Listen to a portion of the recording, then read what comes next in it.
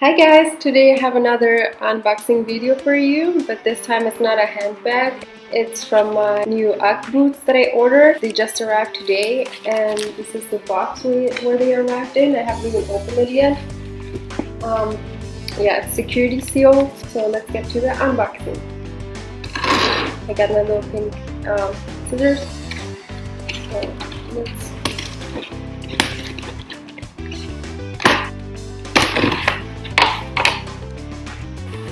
here's the box. So let's take it out.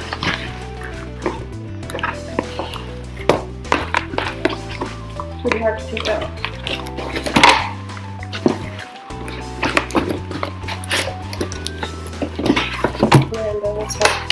Okay, so let's put the box away. So here's the box, and um, it's just like typical Australia box. Here's Australia. This looks like that, and here it says the size 4 and UK 3, Euro 34, and etc.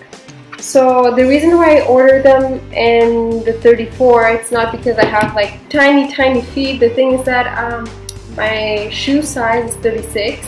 So um, I actually saw these boots on the kids or toddler section of the website. So I didn't see it for adults. But I really really want to get them. So I looked at the size chart where it said like the measurements and stuff like that. So I noticed that um, my actual size shoe size like centimeters matches with the 34 and I also just sold um, some other boots that I had and I also ordered them from the toddler section. But I ordered them in the 35 but they, they were still like um, too big for my feet.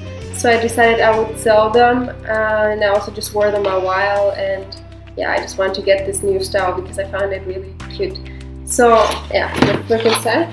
So if you want to get them and you have another like a bigger um, size you can just check it on the size chart and measure your feet measure your normal shoe and then you can just see um, what size fits you. So this is the inside and here we have this envelope where it says like Australia. And here are the receipts in case you want to exchange it and or return it. And here there are these two cards where it says UGG Pure, that it's authentic, and um, how to ensure the authenticity. So you can read them to check if your Uggs are real. So it has this kind of wrapping paper